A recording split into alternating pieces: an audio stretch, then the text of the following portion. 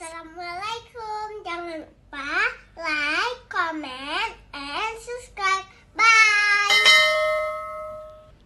Maka kalau ada sifat syukur ini, maka terus beribadah, berzikir dan bersedekah ini. Memang berat, bersedekah pun berat ya. Tapi ada konsep Imam Ghazali mengatakan begini. Untuk menghilangkan penyakit syukur, menghilangkan penyakit bakhil, menghilangkan penyakit malas baca Quran, menghilangkan penyakit malas untuk salat berjamaah, menghilangkan penyakit apa namanya susah menghilangkan riba untuk orang lain itu mudah sekali kata Imam Ghazali. Mudah sekali kata beliau. Cuma kita saja mau atau tidak. Maka beliau mengatakan la budda bi Harus latihan dan jangan pernah putus-putus latihan. Bagaimana latihannya? Beliau mengambil konsep yang ada di dalam Al-Qur'an nilai 40, ada 40. Rasul yang akan menjadi Rasul 40 tahun. Kaum Bani Israel berada di Tih 40 tahun. Kemudian mereka Nabi apa Musa 40 tahun. Kemudian ada 40 laki-laki terpilih. Arba'ina rajulan limikatina. 40 laki-laki terpilih. Dalam hadis Rasulullah juga mengatakan. Seorang laki-laki, seorang pemuda apabila sudah sampai umurnya 40 tahun. Tetapi dia masih seperti sebelumnya. Maka celaka dia kata Rasulullah. Ya. Kenapa? Karena umur 40 tahun akal itu sudah sempurna. Makanya Nabi Muhammad yang akan menjadi Rasul umur 40 tahun. Walaupun Nabi Isa di bawah 40 tahun itu. Ini sudah dalam kontrol Allah, ini sudah berbeda. Tetapi secara lazimnya, seorang yang sudah 40 tahun sudah sudah ini apa akalnya. Ya. Makanya uh, Imam Ghazali mengatakan, kalau ingin mengobati diri, mengobati penyakit diri, malas berjamaah, bakhil dan lain sebagainya, biasakanlah sesuatu itu 40 hari. Bagaimana biasakannya? Contoh yang pertama. Dia orang bakhil, krip, bakhil, krip, syuhur lagi. Bagaimana untuk menghilangkannya? Biasakanlah untuk bersedekah setiap hari walaupun cuma seribu rupiah. Gaknya kak krip ha? Alah hai tadi tribe mendek. Parkir mendek enggak dua ribu dah. Jadi tribe betul. Tak apa-apa untuk menghilangkan penyakit bakhil saja. Siapkan duit empat puluh ribu, empat puluh ribu. Tetapi jangan putus-putus ya. Setiap hari berinfak seribu, seribu, seribu. Pun tu, wah ada pengen tribe. Urap kedua kagak ada pengen tribe lo. Regular kagak ada dalam dari beda yang tutak yang baik. Tapi ketika hari ke-20 sudah agak ringan sedikit, ringan sedikit. Hari ke-31 agak ringan lagi. Hari ke-40 nya sudah sudah rida ya. Arti itu apa? Karena sudah terbiasa. Ketika duitnya sudah habis, hari ke-41 seperti ada yang kurang sama saya ini.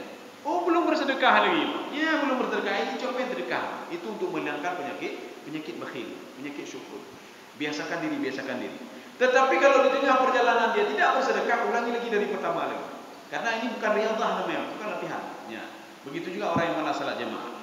Biasakan berjamaah selama 40 hari, jangan pernah berhenti-berhenti. Anak kita kalau ada yang tidak suka berjamaah, kita paksa. Nyone, mak lakai 40 orang mentang ne. Setelah itu terserah ne. 40 hari saja. Kamu berjamaah 5 waktu 40 hari itu atau kalau kalau perlu lun bayi ne. Bayi ne. Fiuro no mak bayi ne. Ya. Fiuro mak bayu tertuh riben. Menyo sada je 40 orang pun juta mak bayu nu katanya. Mau anak itu. Kita ingin lihat bukan dibayarannya tidak. Kita ingin lihat anak itu menurut konsepnya Imam Ghazali hari ke-41 ridha itu akan muncul di dalam hatinya. Ridha itu akan muncul dengan sendirinya. Walaupun dia itu sebelumnya tidak senang. Seorang yang minum kopi pahit, urapun dipekat du, bak kedai kopi kopi pe bayim, alah beda lagu. Kapit mahal lo, nyata. Ya, hana apa nanti harga sama lo. Pek ngena saka sama nya. Nyo ka pek mahal lo nya. Besok hari kedua begitu juga. Alah eh aja kopi pek je lo. Pek ni mahal aja. Kenapa orang ini mau setiap hari minum kopi pahit ni? Rupanya setelah itu dia terbiasa terbiasa. Hari ke-40 Hai nalo kopi pahit. Ya, lagi lo kopi pahit. Kenapa? Karena dia sudah terbiasa dirinya kopi pahit selama 40 hari. Begitu juga riba orang lain. Kalau suka riba orang lain uronyo, lo uronyo lo mutumpah hana riba orang lain. Tajih. Eh, apa namanya? Atau kita ngomong ke ini, bu, kalau ibu tidak riba, saya bayar ini seratus ribu. Tadu ni demi seratus ribu. Hari kedua begitu juga seratus ribu. Tadu lah bu.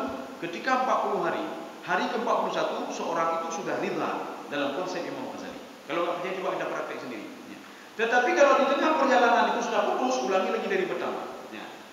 Ini seperti begini. Anak kita itu alumni tekniknya, teknik sipil atau apa saja, atau alumni apa eh, kalau di Win Syariah dan lain sebagainya.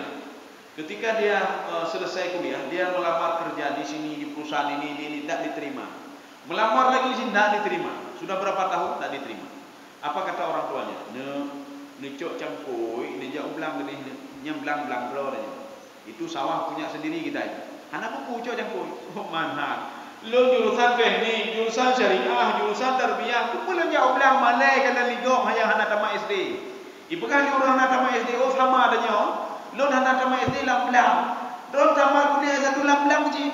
Boleh anak buku tu cok aju tampilan preh-preh kerja cangkol yang beratnya 2 kilo ketika dia taruh di sini lagi 30 kilo berat cukup berat cangkol itu oh, mahek tak hek dan malay kalau ni hari pertama dia kerja kerja itu berat sekali hari kedua begitu juga ketika hari ke 10 eh, cangkol pak ya kita cangkol lagi jadi cangkol itu sudah agak ringan sama dia ketika hari 31 hari 30 hari masuk 40 dia sudah ringan langkah dia dan cangkolnya juga sudah ringan yang berat cangkol 2 kilo menjadi setengah kilo cangkol itu mangat naik kerja Ketika hari ke-40, masuk ke-41, dia sudah reda dengan kerja di sawah.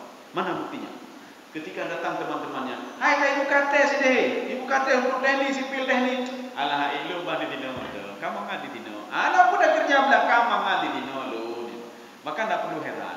Kalau ada orang S1, S2, S3, ibu kat, ibu katnya, jualannya, bau, ya, nah, hidup, dia sudah reda dengan apa yang dia lakukan.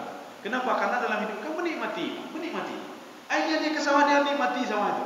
Dia datang ke sawah nikmat. Untuk apa datang ke kantor? Pergi ke kantor gaji banyak, tetapi tidak nikmat. Yang ada sakit hati tapi apa? Iya kena ikut kau ke dia kali kau. Pada dia mau gaji ah nak kupu ya. Yang jelas sakit hati benda dia jawab dulu. Tapi jauh bilang mangga ke dia. Mangga hati pak. Tenang hati pak. Kemudian apa? Ketenangan jiwa itu tidak bisa dibeli. Tidak bisa dibeli. Saya rasa cukup sekian saja. Ini kalau lebih menit. Mudah-mudahan ada manfaatnya bagi saya sendiri dan jemaah sekalian. Subhanallah bihamdika asyhadu an la ilaha illa anta astaghfiruka wa atubu ilaik. Assalamualaikum warahmatullahi wabarakatuh.